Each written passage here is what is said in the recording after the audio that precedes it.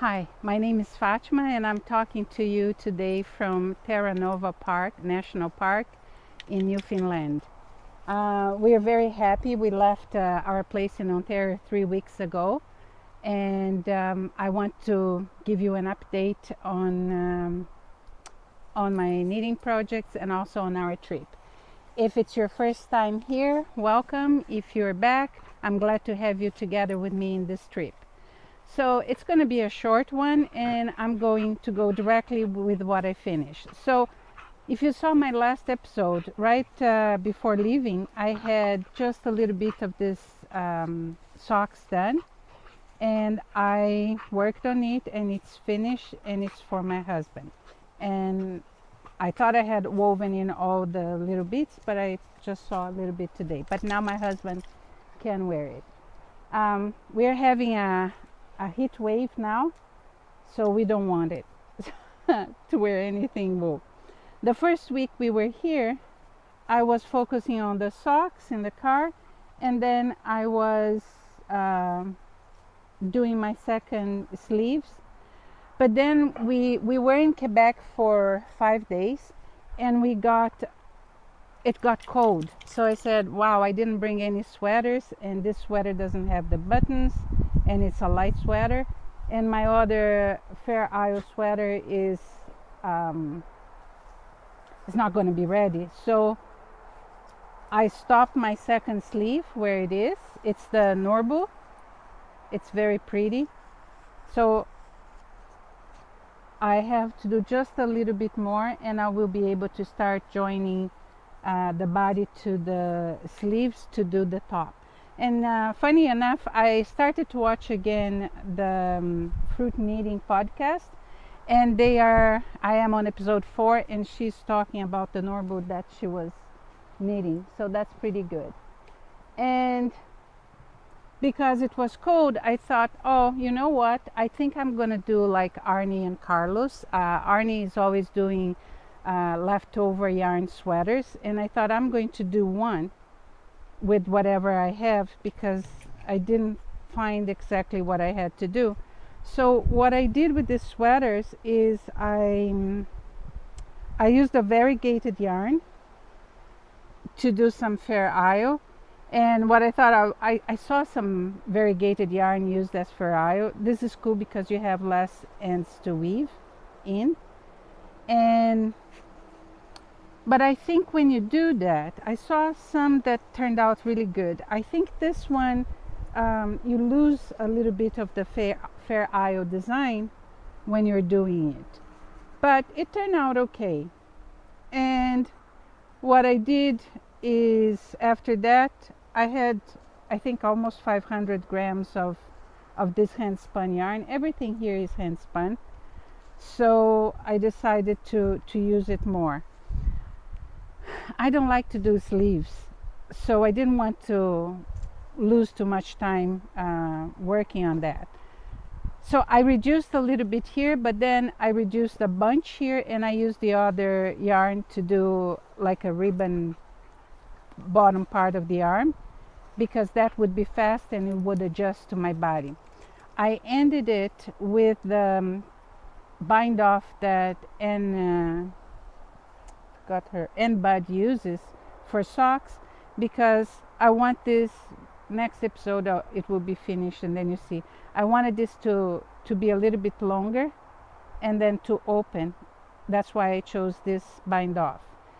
When I was doing the sweater I I decided to do a detail under the arm and I went on with the detail here uh, the other thing is because I don't like to weave in ends, I decided to weave in ends while I was knitting. So mostly now what I have to do is just to cut the the ends because I wove them in. If you see here, this is the middle part and I have one on this side and the other on this side. I just have to cut it.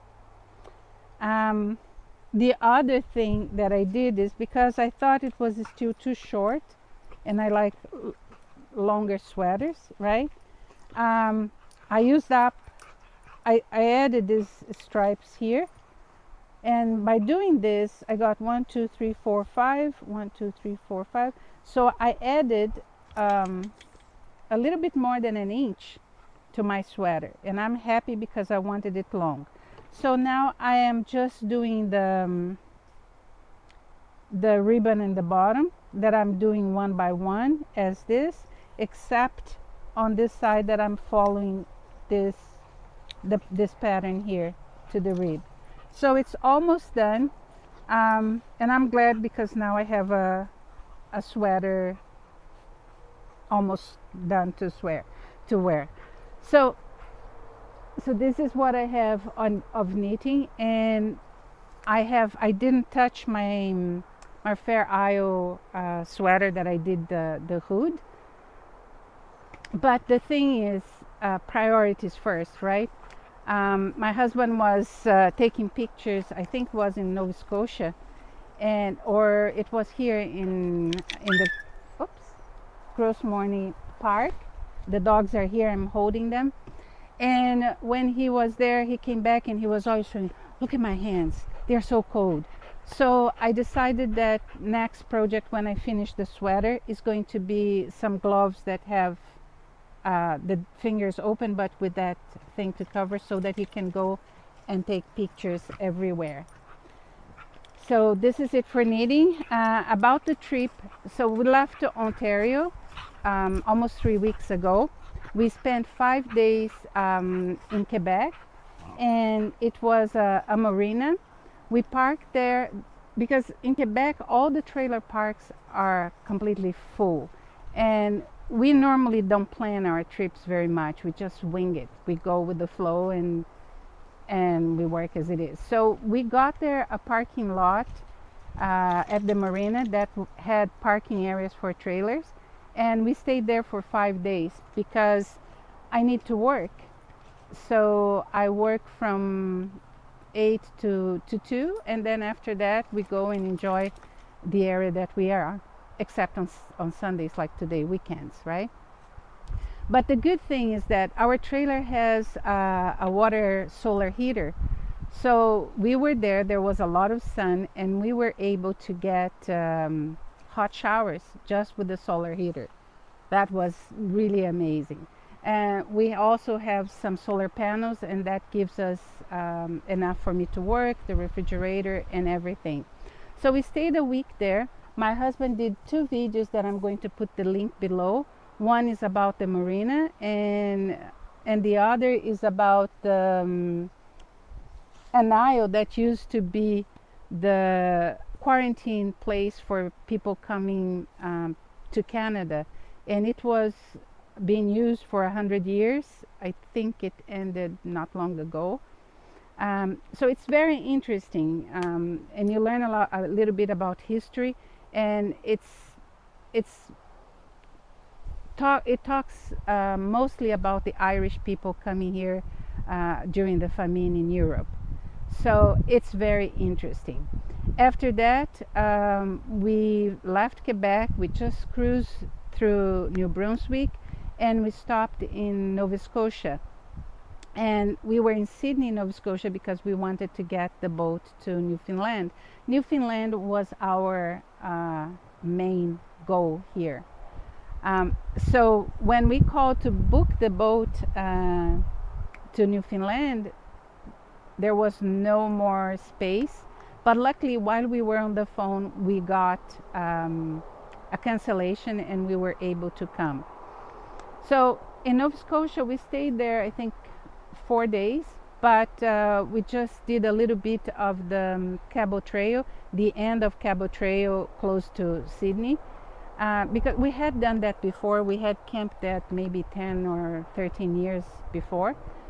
Um, but that area we didn't explore, so this was good. We had uh, a, a weekend day there. We just went for the day and stayed at a beautiful place, uh, parking uh, camp parking uh, place. That was really nice. So after that, we got the boat, and we were a little bit concerned about our dogs. So there are two boats that you can, two ferry boats that you can get uh, from Nova Scotia to Newfoundland. One is seven hours and the other is 16 hours.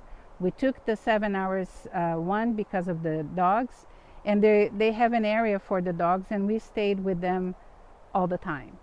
And luckily for us, there was only another little dog, so they were off the the cages and just with us and seven hours passed very fast it was okay so um, when we got to New to Newfoundland they say Newfoundland but they say Newfoundland um, and I think that's because of the the Vikings that they called this island Vinland um, so people say Newfoundland even though it's written Newfoundland. Um, so we have been here, and um, the biggest problem on the west side is that if you are in the park, we went to the Gros Morne Morning Park that I wanted to be there, but the problem there is the internet is really bad, and I need to work. So we stayed there the, the weekend, and then we noticed that by the ocean, it's great, you can park. So we stayed um, a few days right in front of the beach. It was beautiful. Then we went to the Viking Trail um, to L'Anse aux Meadows. That is a place that they have rebuilt um, one Viking settlement as it used to be before. And they also have a trail there. Mihaly filmed and he's doing a video on that, but it's not on yet. Uh, but that was beautiful we felt like we wanted to stay there. It it is gorgeous, and they had a really nice trail in in the park and sort of museum that we went. And after that, now we we are going towards um, St. John's because we are going to get our our ferry boat back in Port aux Basques where we left. So Port aux Basque is here. We're going to St. John's and then we're coming back to Port aux Basques because we want to get the seven hour trip, not the 16 hours. And on the way, there is this Terra Nova Park that we're going to be here for three days. We check the internet, we have internet. Um, internet through all the highways good. We have been boondocking in some areas, like for this park, we just got a vacancy today. So yesterday we boondocked close by, and we are good with that our trailer has the solar panels, so we have hydro, we have everything. They had good internet internet reception where we were. Life is good. Um, Mihaly is going to put some clips of everything. I hope you enjoyed. It's a quick one. Love you guys. I'm very grateful you were there. I'm very grateful I'm here. And see you next time. Bye.